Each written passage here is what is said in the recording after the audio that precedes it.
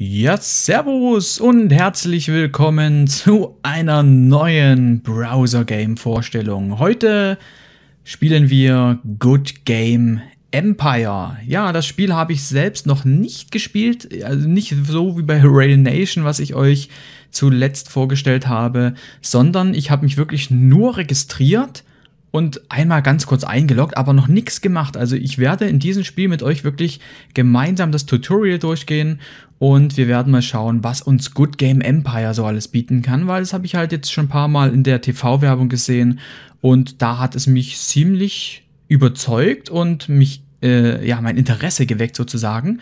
Und deshalb möchte ich euch das heute mal vorstellen. So, ich, ich bin schon, ich habe schon mal gespielt, also zumindest habe ich mich schon mal eingeloggt, deswegen klicke ich jetzt mal hier auf Login. Mal gucken, ob er hier jetzt den Login-Bildschirm bringt oder was auch immer. Internet kann heute klein bisschen langsam sein. Schärfe die Schwerter, entführe Prinzessinnen. Ja, sieht gut aus. Nähe das Wappen, errichte einen Turm. Trainiere die Ritter. Besetze Ru Raubritterburgen, treibe Steuern ein. Forste den Wald auf. Fülle das Lager. Verstecke Relikte. Zerreiße Schatzkarten. Errichte den Bergfried, sattel die Pferde, Spielelemente geladen, öle die Kettenhemden, ach, die auch noch. Ja, sind halt alles faule Ausreden hier beim Laden. Gut. So, oh, hier gibt es sogar Musik, die wir haben. Sehr schön, das gefällt mir. Ja, und jetzt gehen wir gemeinsam das Tutorial durch hier. Wir brauchen Rohstoffe. So, um Gebäude bauen zu können, braucht ihr Holz und Stein.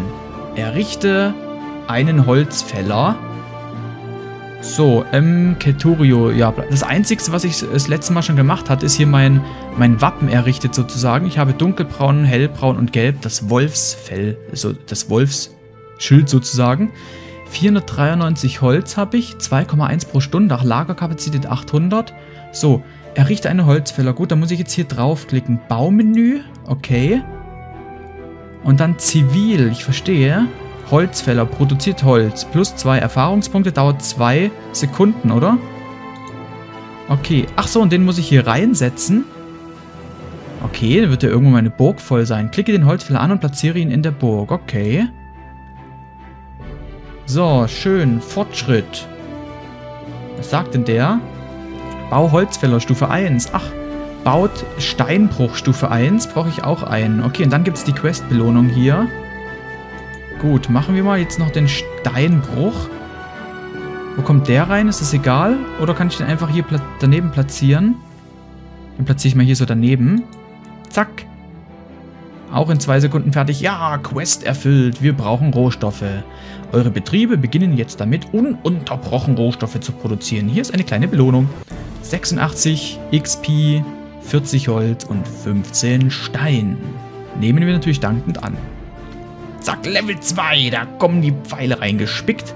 Herzlichen Glückwunsch, ihr habt ein neues Erfahrungslevel erreicht. Plus 60 Rubine ist, denke ich mal, die Ingame-Währung. Die Premium-Währung, ich weiß es nicht. Neue Gebäude wurden für euch im Baumenü freigeschaltet. Die Kaserne Stufe 1 und der Turm Stufe 1. So, wir brauchen Schutz. Es wird Zeit, dass wir uns um die Verteidigung der Burg kümmern. Klickt den Turm an, mein werter Knappe. Gut, dann klicken wir den Turm an. Baut hier einen Turm aus. Klickt auf Ausbauen. Erhöht die Anzahl der Soldaten, die auf der Burgmauer Platz finden. Vier Sekunden, verbraucht fünf Stein und elf Holz. Haben wir locker. Und Nahrung verbraucht das sogar, oder? Habe ich gerade gesehen. Quest erfüllt. Es können nun mehr Soldaten auf eurer Mauer stehen und die Burg verteidigen. 25 XP, 45 Holz und 20 Steine Erfahrungsbonus gab das. So, zack, ein Turm, jawohl. Neue Aufgaben sind verfügbar. Burgflächenerweiterung. Öffnet das Baumenü und wählt eine Richtung zum Erweitern aus. Ach, man kann die Burg so vergrößern. Cool. Ja, irgendwann hätte es sonst keinen Sinn mehr. Gehen die hier rein? Bergfried Stufe 1? Gehen die hier rein Stein abbauen im Bergfried?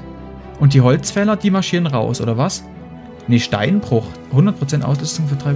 Achso, das müssen wir wahrscheinlich erst alles erweitern. Wir können nicht außerhalb bauen, oder? Wo rennt der jetzt hin? Kann man das sehen, wo der hinrennt? Ich nehme an, der rennt jetzt zum Holz, oder? Wald? Mittelgroß? Wo rennt der hin? Ja, oh, guck mal. Oh, jetzt gibt er aber Gas hier. Jetzt hat er aufgehört, Gas zu geben. Gut, ähm, Baumenü. Ach, hier kann man sagen, wohin es erweitern soll. Erweiterung kaufen, 5 Steine, 29 Holz. Kostet es alles gleich viel? Ja. Wo gehen wir da hin? Ähm, ich würde sagen, wir gehen hier Richtung Vogelscheuche erstmal, oder? Ja.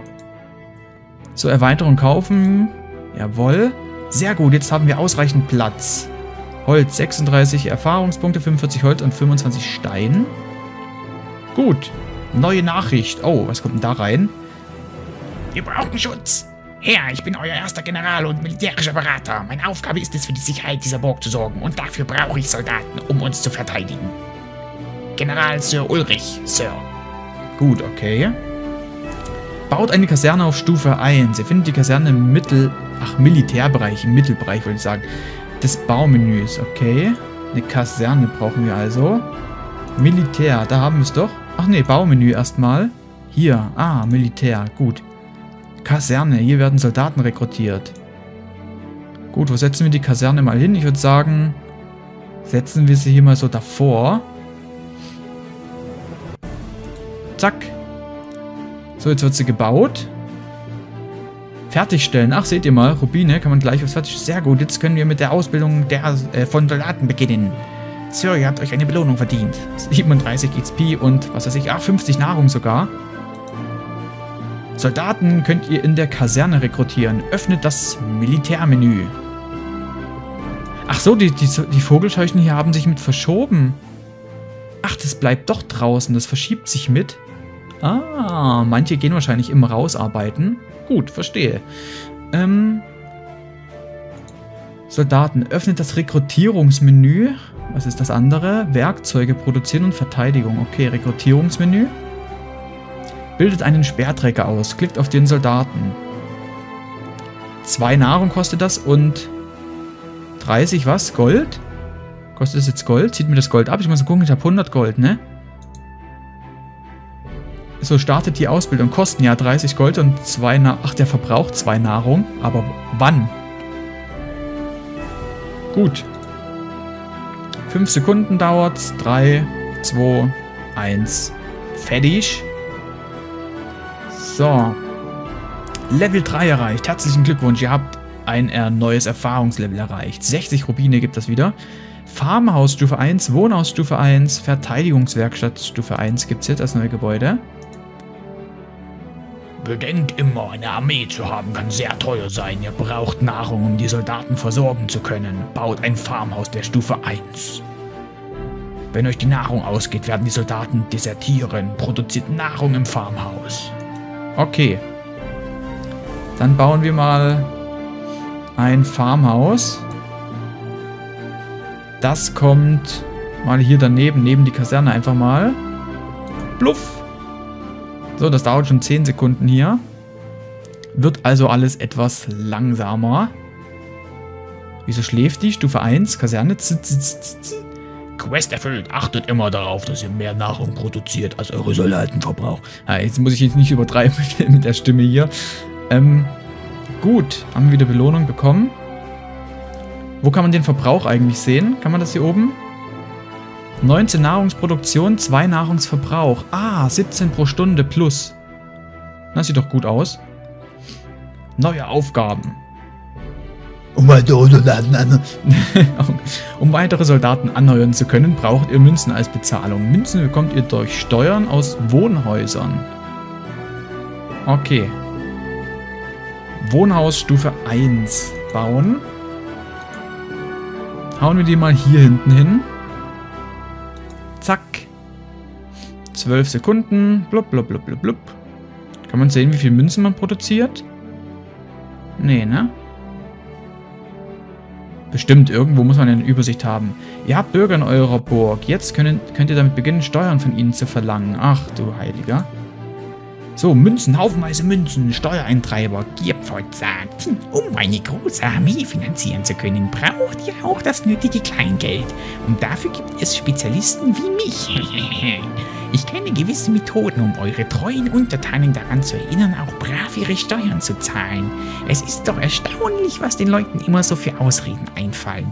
Aber merkt euch immer, wenn, wenn die Kaserne ordentlich klingelt, dann klappt's auch mit den Eroberungsplänen. Okay, gut. Steuernfenster. Öffnet das Steuernfenster mit einem Klick auf den Geldsack. Ah, Steuern eintreiben. Schickt den Steuereintreiber los, um bei eurer Bevölkerung Steuern einzutreiben. Plus 7 Ertrag. Ach so, wie lange er gehen soll. Ah, ich verstehe. Steuern eintreiben. 30 Sekunden. 30 Minuten. Okay. 30 Minuten sind das. Ich mache mich auf den Weg und kehre in 30 Minuten mit den eigensammelnden Steuern zurück. Okay, gut. Ist unterwegs, um bei euch Bevölkerung Steuern anzunehmen. Kehrt rechtzeitig zurück, um die maximale Menge an Münzen zu erhalten. Okay. So, ähm, ja, das wird einem hier unten auch angezeigt. Neue Nachricht schon wieder. Der Feind vor der Tür. Es heißt, dass eine Bande von Deserteuren brandschatzend durch diese Ländereien zieht und ganze Dörfer dem Erdboden gleich macht. Wir müssen dieser neuen Bedrohung mit eiserner Faust entgegentreten. General Sir Ulrich sagt. Gut, Burgflächenerweiterung. Wir brauchen noch mehr Platz, um unsere Verteidigung verbessern zu können. Öffnet das Baumenü. Richtungspfeile der Burgmauer. Gut. Dann werden wir nochmal erweitern. Gehen wir jetzt mal hier nach unten. Jawohl, 10 Stein, 54 Holz. Sehr gut, jetzt haben wir ausreichend Platz. Okay. Ach, das hat jetzt... Wieso hat das jetzt so eine Form angenommen? Merkwürdig. Na gut. Neue Aufgaben. Zum Verteidigen brauchen unsere Soldaten Werkzeuge, die sie dabei unterstützen. Errichtet eine Verteidigungswerkstatt. Okay, eine Verteidigungswerkstatt also. Die gibt es auch beim Militär. Da haben wir sie, Verteidigungswerkstatt. Ähm, die tun wir gleich mal hier neben die Kaserne pflügen, oder? Oder wohin denn am besten? Hier passt es dann irgendwo. Oder hier vorne. Hier so ins Eck rein. Hm. Ich setze einfach mal so hier daneben. Zack. So, 14 Sekunden dauert das jetzt.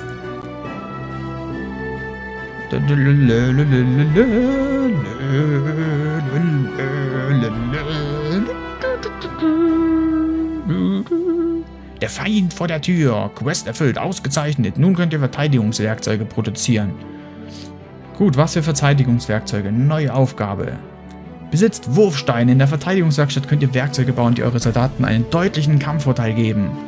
Wurfsteine könnt ihr wie zuvor die Soldaten im Rekrutierungsmenü produzieren. Dort gibt es einen eigenen Werkzeugbereich. Okay. Da, Werkzeuge produzieren. Ach, Okay. Erhöht den Burgmauerschutz. Wurfsteine 3 Sekunden. 94 Steine. 40 Holz. Ja, können wir uns mal leisten. So, müssen wir uns ja auch leisten, sonst können wir im Tutorial nicht weiter voranschreiten. Die Wurfstände werden die verteidigenden Kämpfer auf der Burgmauer erheblich verstärken. Okay. Wir sind nun bereit, unsere Verteidigung aufzustellen. Öffnet das Militärmenü. Okay, ach, Verteidigung. So, eure Soldaten werden hier auf die drei Seiten der Burgmauer verteilt. Okay. Wählt die Wurfsteine und platziert sie auf dem Frontabschnitt. Ach so, hier Burgmauerplatz. Gut. Es wird immer nur ein Verteidigungswerkzeug pro Slot in jeder Angriffswelle verwendet.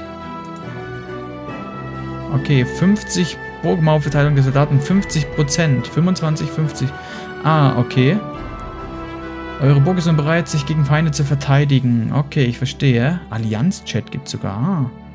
Verteidigungseinstellung übernehmen. Herzlichen Glückwunsch, ihr habt ein neues Erfahrungslevel erreicht. Level 4, plus 60 Rubine. Was gibt's jetzt? Lager Stufe 1, Belagerungswerkstatt Stufe 1, Feldlager Stufe 1 und Holzfäller Stufe 2.